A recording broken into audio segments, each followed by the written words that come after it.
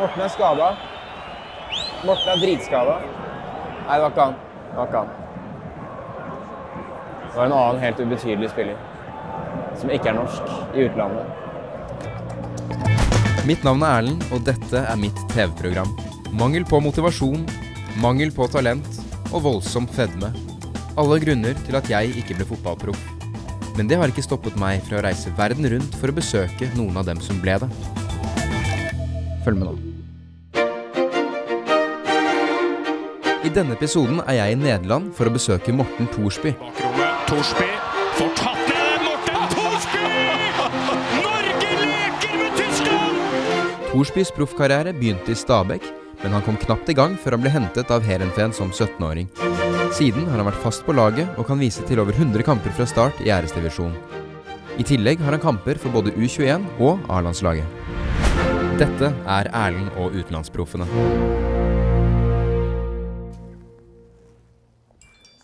Skal det være her?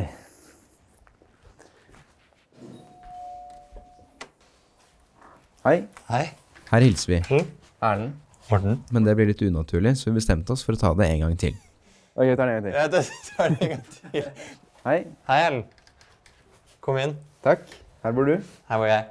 Det er mulig vi burde ta tre takes. Men dette er et annet hus enn det, for jeg så et klipp på YouTube av at du hadde en hengekøye og sånn med noen kompiser. And I can also turn the, I can play PlayStation from here and uh, also uh, yeah, turn off and on the music.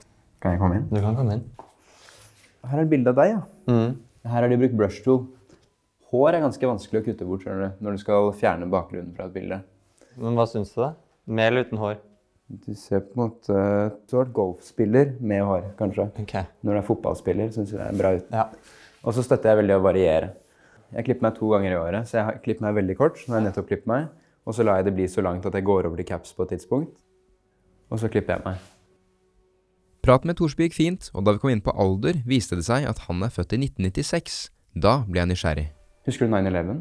Jeg, jeg er så usikker på det her, for jeg, jeg, jeg mener at jeg husker det, men jeg tror egentlig ikke at jeg husker det. Nei, det er Jeg var, jeg var fem, men jeg tror jeg blandet seg. Ja. Jeg tror ikke jeg husker det.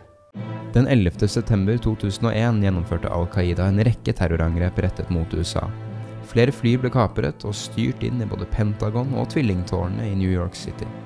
Nesten 3000 sivile mistet livet, og angrepene blir regnet som det mest alvorlige angrepet mot USA noensinne. Vi glemmer aldri den Har du annen, etasje her? Ja. Fy satan. Og så to vasker. En til hver hånd. ja. Shit, det var litt deilig. På vei mot soverommet prøvde jeg å komme på det de alltid sier på MTV Cribs, som er sånn This is where the magic happens i soverommet, men jeg kom ikke på akkurat hva det var man skulle si. Det er her du driver med trylletriks.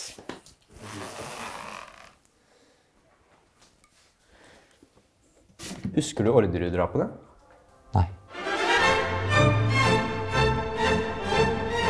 Alle gode intervjuer gjøres i bil, enten man er Hans Olav Brenner eller Jerry Seinfeld. Det er fordi da slipper man å se intervjuobjektet i øynene, og da blir det lettere for journalisten å stille de virkelig gode spørsmålene. Tenker du over det at uh, å være proff fotballspiller, det er jo det alle barn drømmer om, og så er du det? Tenker du sånn å shit, nice, jeg, jeg klarte det? Jeg vet jo veldig veldig godt at jeg er kjempeprivilegert og gjør noe samtlige unge fotballspillere har lyst på, et liv alle har lyst på å leve. Men så er det tror jeg, veldig få som egentlig vet hva det innebærer å leve som en fotballproff. da. Ja. Ofrer egentlig alt det du vil si et normalt ungdomsliv innebærer. da. Jeg lurer på om det finnes en kombinasjon med ting jeg kunne gjort med mitt genetiske utgangspunkt for å bli proff fotballspiller. Om det kunne gått. Jeg tror jeg blir for lett skada. Ja. Tenk at alle disse menneskene jobber med underholdning, akkurat som meg. Vi er på en måte kolleger, sånn sett. Eller i så måte, som noen liker å si. Jeg har aldri sagt det selv før nå. Folk betaler for å se disse folka sparke fotballen, og de er så gode til det at de tjener masse penger på det. Forklar det til et lite afrikansk barn. Og innen kort tid vil det afrikanske barnet ha blitt så gode i fotball at det har blitt et av verdens største talenter og spiller for ungdomsakademi til Manchester United.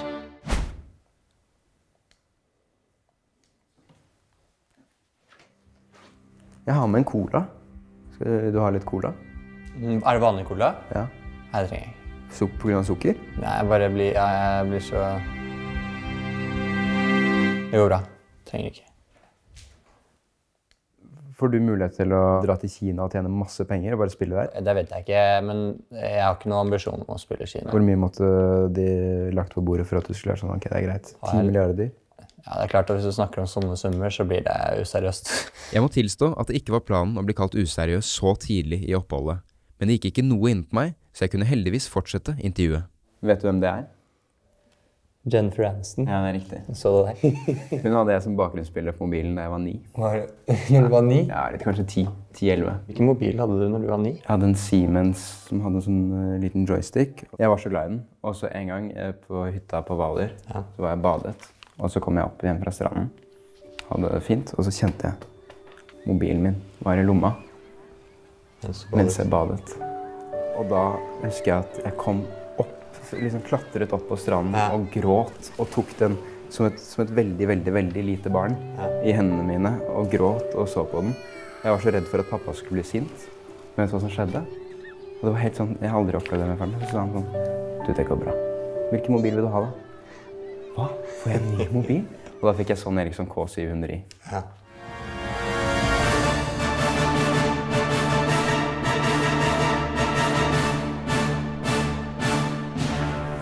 Ass.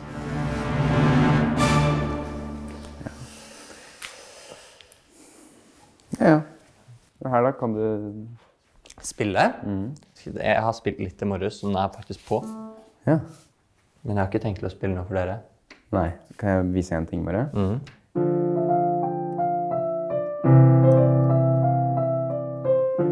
Jeg er nostalgiker og elsker å mimre tilbake til gode tider. Og jeg lar meg ikke stoppe av at jeg bare har vært der i ti minutter.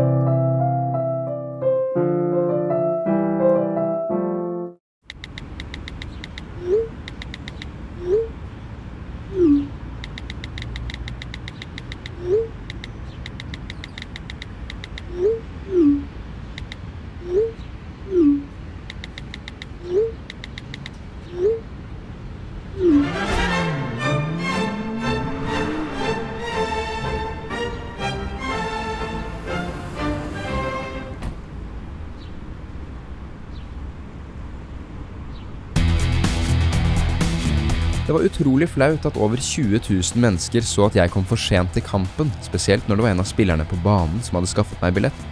Men herregud, det må da være lov å drite seg ut én gang i løpet av en 14 minutters episode. Jeg har mitt eget TV-program.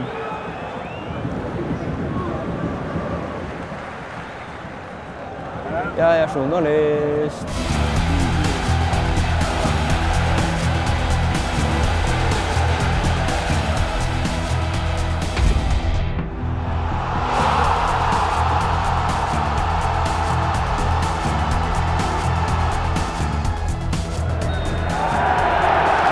Heerenveen tapte kampen 2-0, men de vant mitt hjerte 100% og jeg ønsket å stå ved det nye laget mitt i skuffelsen. Jeg bare visste ikke at Heerenveen og Grønningen var fiender.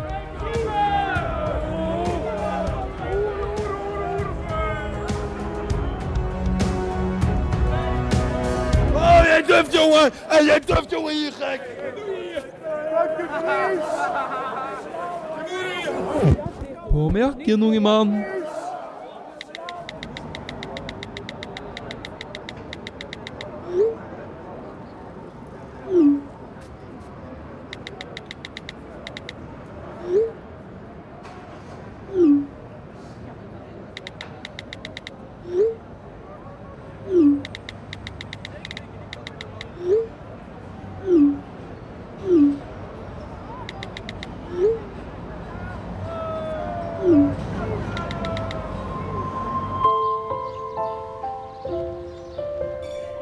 Thorsby var langt nede etter tapet, og derfor valgte jeg å tre ut av rollen som journalist og inn i rollen som en potensielt ny venn.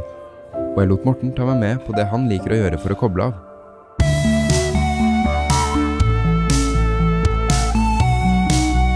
Ja, altså Vi spiller fem runder, da. Så får vi den tre, to og ett poeng Én hvis du taper. Altså Det er bare at alle tre skal ha- lik liksom start. Men det har jo ikke noe å si. da. Nå spiller vi bare nærmest rød. Og så bytter alle. Så jeg starter, du andre, han Nico til sist, og så Nico start. Her har jeg for lengst falt av reglene til Thorsby, men det siste jeg ville nå, var at Thorsby skulle bli frustrert, så jeg latet som at jeg forsto.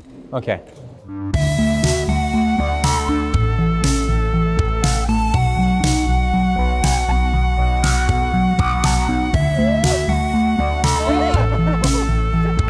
Det var sjukt.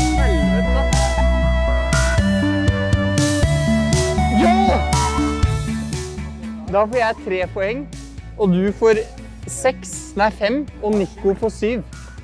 Hvis du lurer på hvem han tredje er, så er det Nicolay Næss, som spilte på samme lag som Thorsby. Jeg har prøvd å klippe han vekk mange ganger, men han vant curlingen, så jeg sliter, og jeg har til slutt måttet gi opp.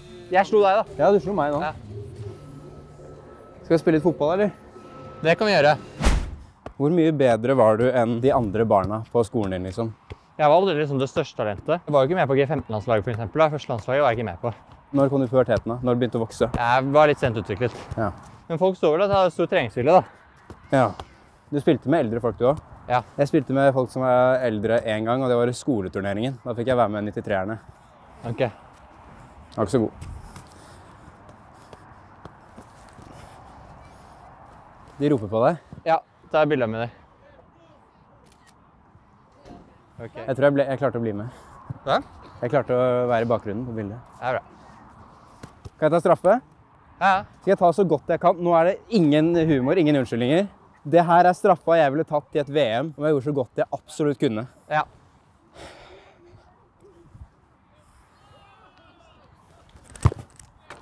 Den er fin.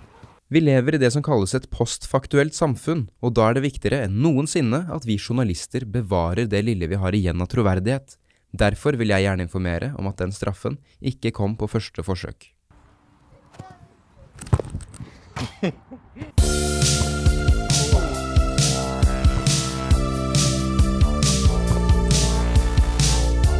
Det er vanskeligere enn man skulle tro. altså.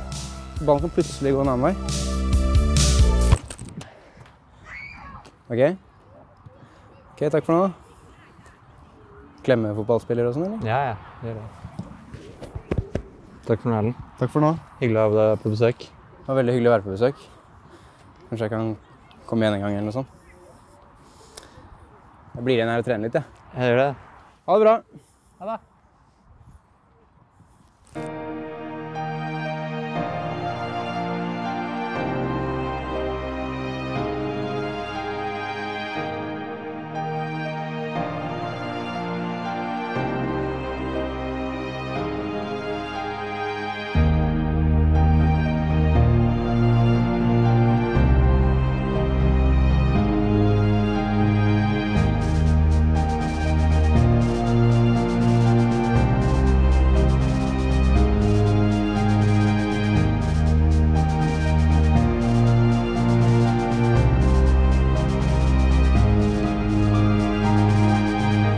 Kanskje det ikke er for seint å bli proff når man er 24 likevel.